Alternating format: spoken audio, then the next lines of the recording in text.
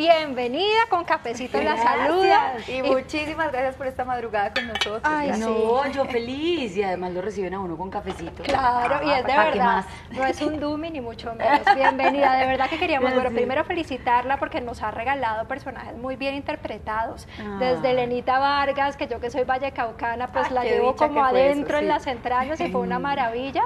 Hasta ahorita pues un personaje como tan fuerte como la Diabla y siempre lo hace muy bien. Ay, muchas gracias, tan linda. Lo que pasa es que yo amo mucho lo que hago y trato de ser muy juiciosa y de estudiar mucho porque ustedes se lo merecen. Se le, ¿Sabe nota, qué? se le nota siempre. Me gusta mucho que la, la carrera de Magida pues lleva ya muchos años y digamos que ahorita la vemos eh, que está ahí protagonizando, pero eso fue después de un proceso de hacer muchos capítulos unitarios, digamos De que se ganó el puesto.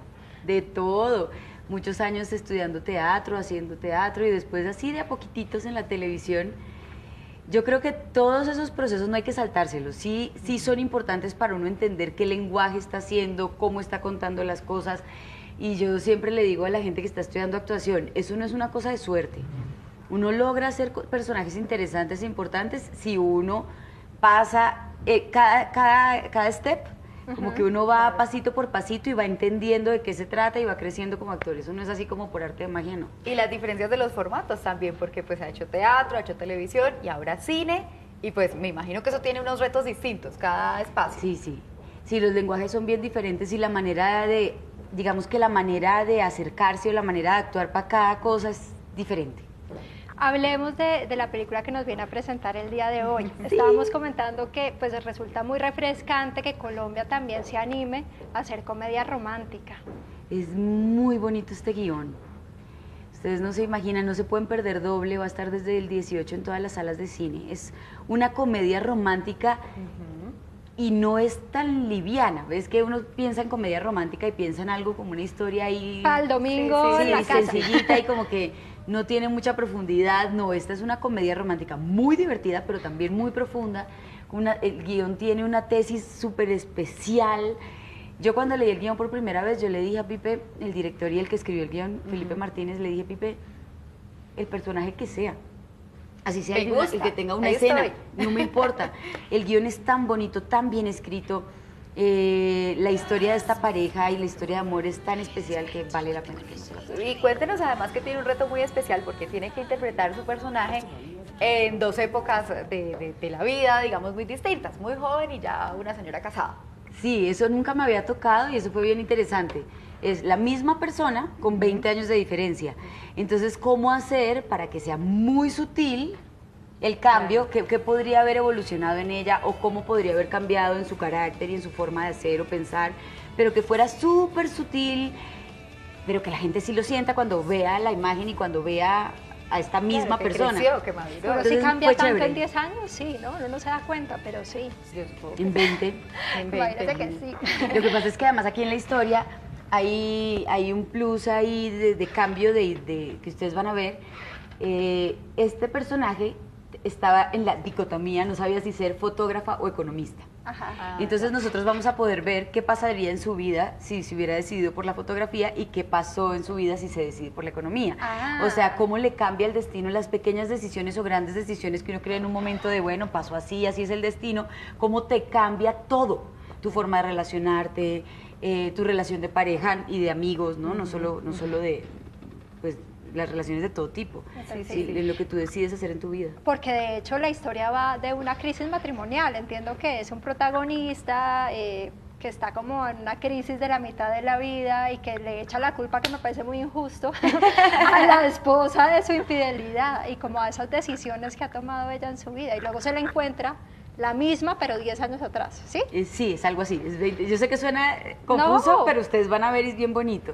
Están en una crisis matrimonial, después de 20 años de estar juntos, y él le reclama, yo quiero estar con la mujer con la que me casé, tú ya solo te dedicas a trabajar, nunca tienes tiempo, te has vuelto súper seria, súper amargada, yo no quiero esta mujer, yo quiero a la mujer que tenía hace 20 años, la fotógrafa. a la que conocí.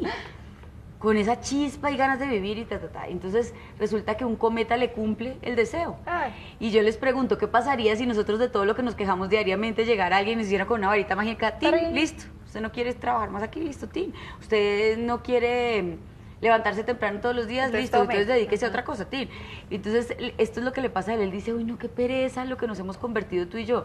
Y le hacen Tin y le traen eh, el, el destino, el cometa, el universo, le pone enfrente a su mujer hace 20 años y tiene a su mujer de hace 20 años y a su mujer de ahora. Y dice, ok, Claro. ¿Cuál es? ¿Cuál quiero? ¿será que sí? ¿Será que después de 20 años ¿Qué fue lo que pasó sí, aquí? sí mejor quiere dicho? eso Sí, sí, sí, o sí. se está quejando y no se ha dado cuenta de lo que tiene? Con algo adicional y es que, mire que bueno, ya lo estábamos mencionando, que es una historia colombiana, pero que no va de lo mismo que eh, estamos acostumbrados a ver en cine, y pues es una oportunidad es para todos para que vamos a ver cine distinto, a recibir cine colombiano de mucha calidad. Una historia muy bonita. Las, eh, lo que nos ha pasado en los festivales a los que estaba la película es que la gente sale como súper movida y las parejas nos agradecen un montón. Ah, sí, sirve Sí, para uno reenamorarse. Y como replantearse todo lo que uno hace diariamente, tal vez inconsciente, ¿no? Uno se queja, ay, ya me tocó, y entonces esto, y entonces te levantas y te estás quejando, quejando, quejando. ¿Qué pasa? ¿Qué pasa si uno se detiene un segundo y de todo lo que se queja le dijeran, listo, no lo quiere, se le quita, tin? O quiere cambiar su destino o está muy arrepentido de lo que se, en lo que se convirtió, bueno, está bien, aquí le damos su A ver, solución.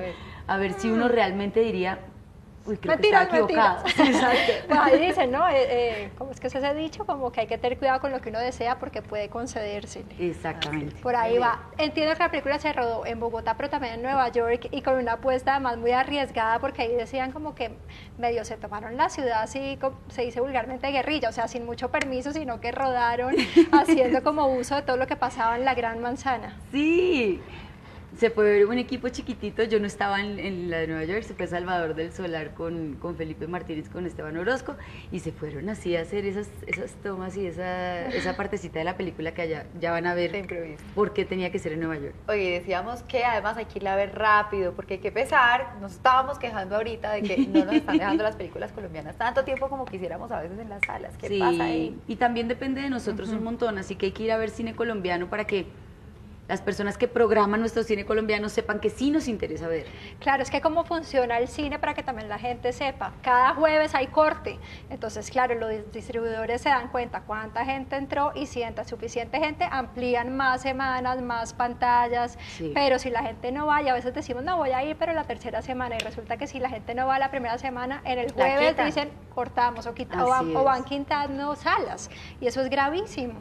Así que hay que apoyarla la primera semana. Arranca el 18, nos dijo Mayer. Pasado mañana, 18 de octubre, en las salas, principales salas del país, doble la película, no se la pueden perder, que está buenísima. ¿Usted cómo hace? Porque yo la veo cantando pues pues a la plancha por las sí, noches sí, en sí. estos shows que me parecen una delicia, un deleite.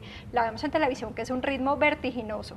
Hace cine, hace teatro. No ¿A crean que lo hago todo el tiempo, lo que pasa es que pareciera, pero no. Sale al tiempo, pero no, todavía ha tenido un proceso. Todo ha tenido un proceso, esta película la hicimos hace casi ya dos años.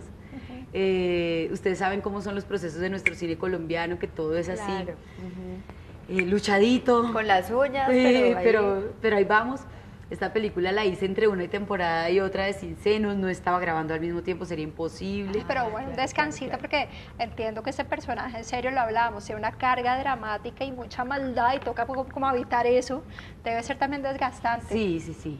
Sí, los ritmos de grabación fueron también muy fuertes, pero digamos que entre una temporada y otra es como que fluyó todo y pude hacer esta película que además me moría de ganas de hacer porque de verdad el guion es de esos pocos guiones que me han llegado a las manos tan bien escritos, Ah, muy bien rico. Ay, qué Entonces, bueno, pues la de verdad valía mucho la pena. Y de paso los invito, si están el 20 aquí en Bogotá, los que estén en Bogotá, el 20 los invito a planchar el despecho con nosotras, vamos a hacer conciertos. Cuando vienen todas. Ay, yo se las traigo a todas. Sí, no, esas son unas dicha. mujeronas, pero no se saben qué lo que esas voces tan divinas de mis compañeras. Pues aquí las queremos tener. Se las voy a traer. Nos vamos a venir las 5 aquí a hacer desorden. Que Sí, sí, sí, sí. 8 de la mañana, 50 minutos. Muchas gracias, de verdad. No, gracias a Felicitaciones. ustedes. Y Gracias apoyar el cine colombiano. Esa es la invitación que les tenemos. Los viernes, además, Carolina tiene un espacio muy especial donde habla de cine. Sí, ya hablamos de doble. De hecho, la semana pasada estuvimos hablando de doble, así que ahí ya la invitación la tienen muy clara. No se la pueden perder. Sí, no se la pierdan, los espero en las salas y espero sus comentarios a ver qué les pareció. Es súper bonita, sé que se van a divertir. Sí, así va a ser. Valle a 8 de la mañana.